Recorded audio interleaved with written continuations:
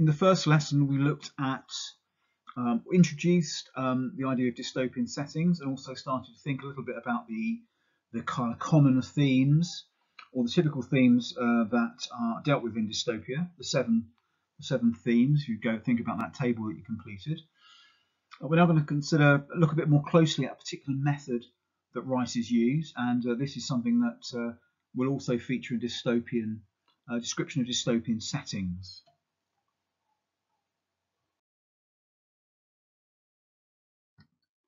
I'm now going to read the opening of the Maze Runner to you, um, and then I'm going to just draw attention to certain things that the writer's done um, as a lead into the next um, the next activity. Okay, so what we're looking at here is the, you know a method or methods that uh, writers of dystopian fiction might use when describing setting. Okay. He began his new life standing up, surrounded by cold darkness and stale, dusty air. Metal ground against metal, a lurching shudder shook the floor beneath him. He fell down at the sudden movement and shuffled backwards on his hands and feet, drops of sweat beading on his forehead, despite the cool air. His back struck a hard metal wall. He slid along it until he hit the corner of the room. Sinking to the floor, he pulled his legs up tight against his body, hoping his eyes would soon adjust. With another jolt, the room jerked upwards like an old lift in a mine shaft. Harsh sounds of chains and pulleys, like the workings of an ancient steel factory, echoed through the room, bouncing off the walls with a hollow, tinny whine. The lightless lift swayed back and forth as it ascended, turning the boy's stomach sour with nausea. A smell like burnt oil invaded his sense, making him feel worse. He wanted to cry, but no tears came. He could only sit, alone, waiting. Okay, so let's have a little look at the description here. So he's in a lift, um, and you've got metal grinding against metal. We've got sound of a sound described there, lurching shudder. Um, more there's movement, so sense of touch. He fell down the sudden movement, shuffled backwards. Um, got sweat. We've got the physical effect on him. His back struck a hard metal wall. Got more metal again here. Um, he's in a room, um, sinking to the floor. Let's have a look. It sounded a bit like an old lift. Then he hears chains and pulleys, um, echoes like a steel factory, whine, lots of noise here, isn't there? And then again, we get reference to his how what the effect on him is making him feel sick, and he can smell sort of burnt oil or something like that. Okay, so in terms of what's actually been described here, it's one of the features of this description. Okay, it's to do with the place that he's in. He's in a he's in a lift but um, it's it's it's kind of this sense of imprisonment. Um, it sounds like he's you know he's trapped and he's enclosed and there's no escape, and that sense of imprisonment is often a feature of dystopian stories. Um, the world that these people in has uh, has no way out. There's there's no escape. Um, those who will remember the Giver will know that the um, the community they're in there is no no way out of it, or there are ways out of it, but we discover that the way out of it is is death. So there's this sense of being trapped in a certain place. In George Orwell's 1984, Winston Smith, the main protagonist, is in a in a world he can't escape from. Um, even his thoughts are being monitored. He's everything is um, he's kind of trapped um, in a in a world that he doesn't understand and he can't see who's controlling it, and um, there seems to be no escape from from it physically or even psychologically. He's kind of trapped uh, in, in, physically and, and, in his head as well. Um, so think about the Hunger Games as well. They're trapped, aren't they? They're in they're in these those communities, and uh, the only way out or the only way to get any kind of freedom is to to win the win the Hunger Games.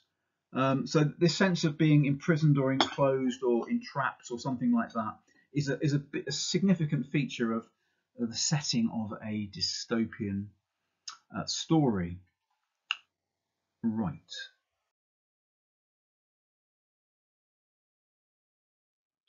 We're going to look at this poem called Nettles by Vernon Scannell. And the reason we're going to look at it is just to sort of, sort of develop uh, and build on um, some, some of the kind of points that were made in relation to the Hunger Games extract. So the Hunger Games extract, there's a sense of, uh, repeated description that creates a sense of imprisonment. Okay, so this idea of uh, describing a dystopia um, uh, as though it is in uh, there's a sense of imprisonment is something we're going to be working on. So we're going to look at this poem and a particular feature of it, uh, and then we're going to undertake a task ourselves. Here we go. Um, my son, aged three, fell in the nettle bed. Bed seemed a curious name for those green spears, that regiment of spite behind the shed. It was no place for rest. With sobs and tears, the boy came seeking comfort, and I saw white blisters beaded on his tender skin. We soothed him till his pain was not so raw.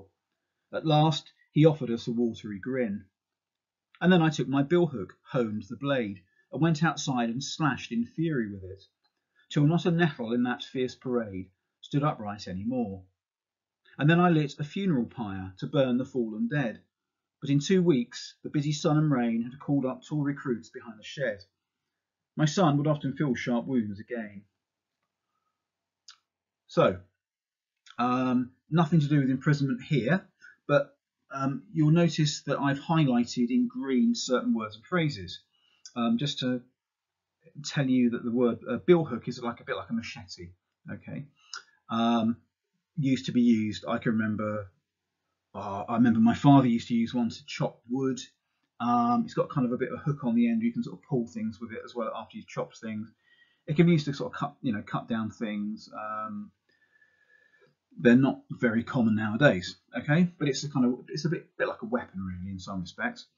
So um, we've I've highlighted green spears, regiment, billhook, fierce parade, the fallen dead, and tall recruits. Now we're not going to spend much time on this poem itself. Uh, it's a poem which um, describes the relationship between as a father's sort of point of view, and he's looking at uh, looking at his son and how he kind of fears for him, but he has to let him you know, at some point he has to let his son sort of go and learn from his mistake, and he can't necessarily come out and save him all the time. Um, but he can, you know, he can't. It's about this sort of sense of parent not being able to always protect their, their child, and in this case, it's against nettles. But he describes the nettles as though they are. Um, he uses military imagery, doesn't he? Spears, regiment, billhook, which is a machete, parade, fallen dead, tall recruits, are all words that come from the world of um, of war, um, of the army, of soldiers, and he's used that. Um, what he what he's done is use an extended metaphor. So the name we give to uh, repeated description with a kind of common theme. So we would say that these he's used a lexical field of um, military terms or military imagery in order to create an extended metaphor um, to describe uh, the way he feels about those nettles, which seem to be a kind of threat to his son and something that he can't really protect him protect him from. And it makes him think about the fact that he might not be able to protect him for his whole life, because of course the son has to grow up and uh, and take his own um, take his own chances in life, doesn't he? Okay, but our, for, for our purposes, it's the repeated use, those words in green, of um, military imagery that um, makes an extended metaphor. So he's describing the, the, the nettles as though they're spears, but he kind of extends that, doesn't he? Um, he uses the metaphor of green spears to describe the nettles. He says they're green spears, but then he extends that idea of them being spears by using words like regiment, billhook, etc. So he extends the metaphor into an extended metaphor.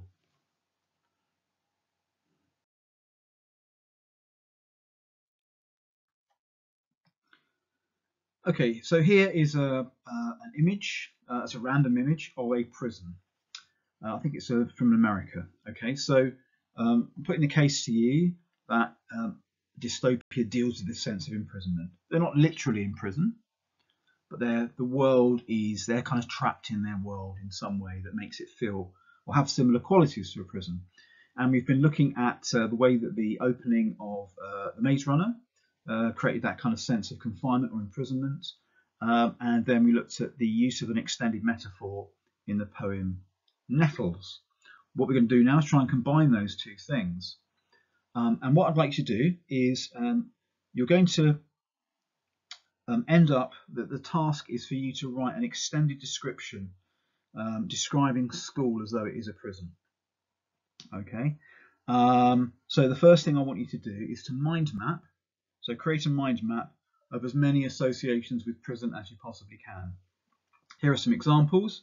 Um, locks, keys, solitary confinement, serving a sentence, and go on and on. Maybe aim for about 20 things, sort of words and phrases connected to prison, you know, the way it physically looks, what, what, what it has inside it, the way you might feel when you're there, all those sorts of things. Okay. And then when you've done that, um, you're going to then uh, write uh, a long paragraph, an extended paragraph, where you write about life in school as though it's a prison. And here's a line to get you going. So um, here's a first line. If you need it, you don't have to use this line, um, but it might get you going if you're not sure how to start. School is a prison. We come to school to serve our sentence. Okay, so have that as a start. Once you've so you've produced your mind map, you've got lots of words and phrases connected to um, that you associate with prison, and then you're going to try and write about school life um, using um, using as many of those terms as you can, um, but start off with the, the first statement you must have is that school is a prison. So you're, you're using a metaphor there, aren't you? You've said school is a prison. So school has become a prison. You've described school by using a metaphor of it being a prison. Okay, and then you're going to then extend that metaphor by using lots of continual references to prison uh, when you describe what it's like being in school. Okay, um, all right.